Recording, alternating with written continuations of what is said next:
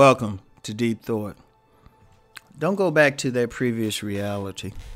Now, I've been talking about like how this crisis is making people face um, reality. Period, and it's making people, it's making those masks come off.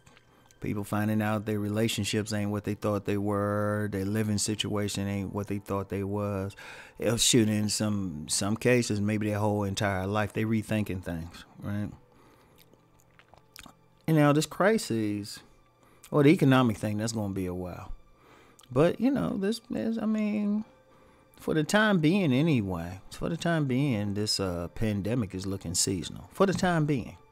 Very key. We don't ultimately we don't know, but it's looking seasonal right now. All right.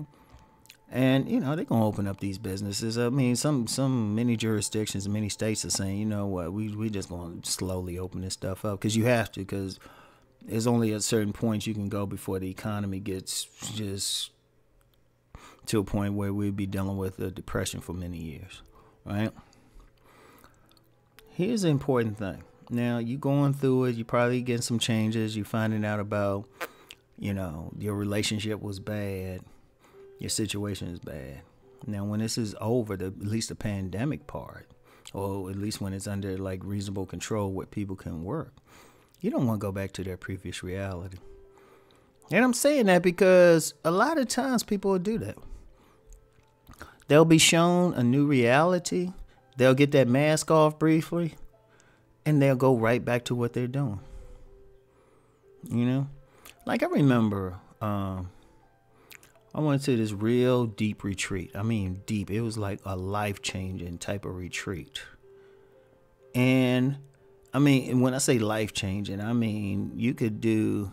It would be a popular movie if we did a movie just on that particular retreat. One of the most powerful experiences in my life. When I say life, life, I mean but one thing, it was hard to go back because I remember after that retreat, I had to go back into work.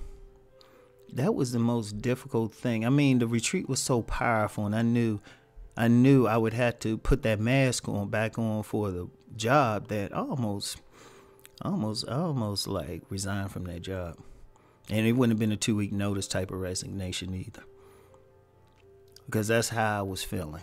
It took everything. It took everything in me to go back to that. And I was had, had some sadness because I said I had to put that mask back on. Because at this retreat, the mask was totally off. You know, the mask was totally off. And I mean, it was powerful. There was a point during that retreat I actually shed tears. And I don't cry easily. I do not cry easily. I could probably count the number of times I cried as an adult on one hand.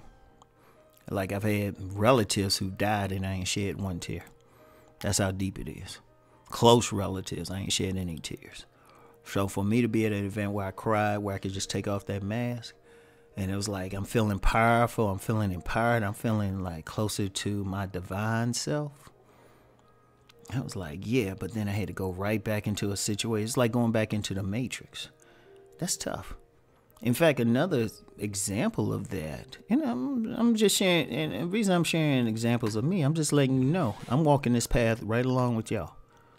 I'm walking it right along with y'all. So I'm letting you know my stuff so you could either avoid it or have a, a perspective.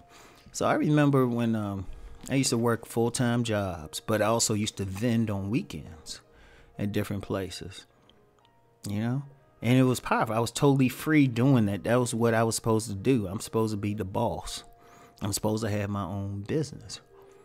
But and I would make money, everything, have fun, laugh, be fully into who I am. But then I had to put that mask back on to work. And that's one of the reasons I don't work for anybody now. That mask, trust me, when I say there was a person a profound personality difference between me when that was all I was doing and me now, it's no joke seriously I, I approach life and everything because I had to put that mask on then. All right, but I had to go back to it. Now, in the situation we got now, it's a new reality. People are gonna face stuff. There's gonna be a lot of breakups. People gonna be on new jobs. You know, they're gonna spend money. It's like everything is gonna change. Everything. Right? how we interact is going to change. It's going to change. We can't, um, you know, whatever reality you came out of, if it's a bad one, you can't go back to that. Now, if it was a great one, then let's be real. In fact, if it was a great one, shoot, you just flowing on through. shoot, you just like, oh, ain't nothing changed. And like I'm flowing on through. Cause I ain't gonna lie. For myself personally, right now, I have only thing I've just noticed is just I can't go to the gym. I can't go to the gym because a lot of other stuff, not other stuff. I'm, I ain't get into. It. I want I want a bar hopper or anything or going to clubs, anything. Oh, I can't buy any clothes now, but trust me, I got like I could probably I could probably start an online, go to eBay and like sell a bunch of stuff, shoes and everything, right?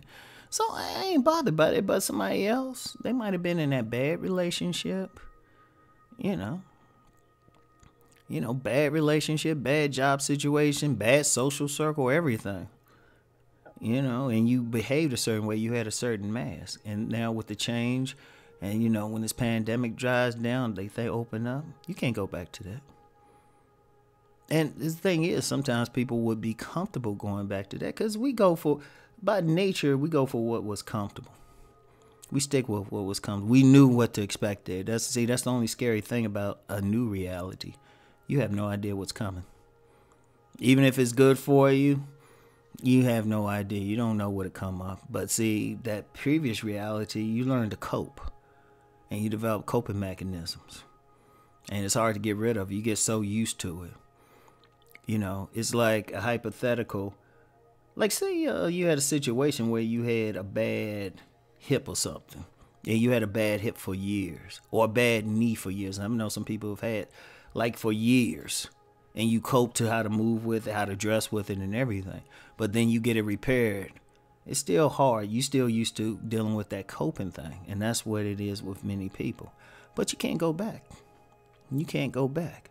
You know, if you had a bad knee for years, you can't go back to how you were walking, how you were dressing, how you were dealing with stuff.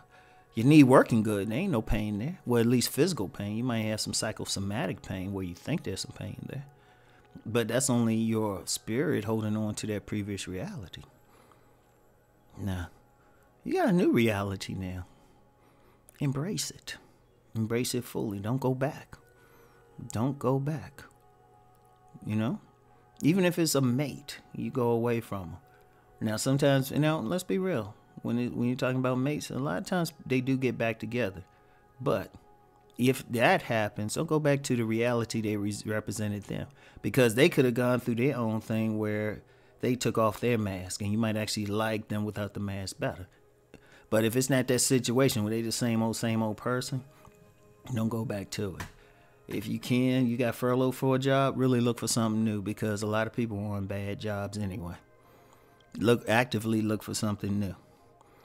You know, you don't want to go back to it. The situation, maybe even some friendships, don't go back to it if they were bad for you.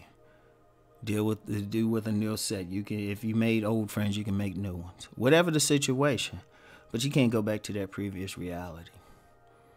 You have to keep growing because once you get something new, it needs to grow. You need to nurture it. You need to water it because you don't want to be in that same situation again. And a lot of people, they keep going back in circles.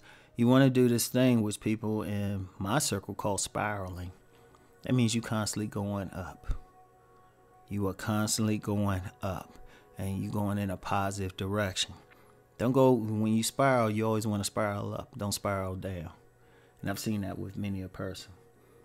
So you know, keep rising. That's why I always say keep rising. I always say keep rising and transforming. That's the whole meaning behind it. You want to keep rising. So yeah, you were in that reality, but you risen above it. Keep rising, keep spiraling, keep transforming. Peace and blessings.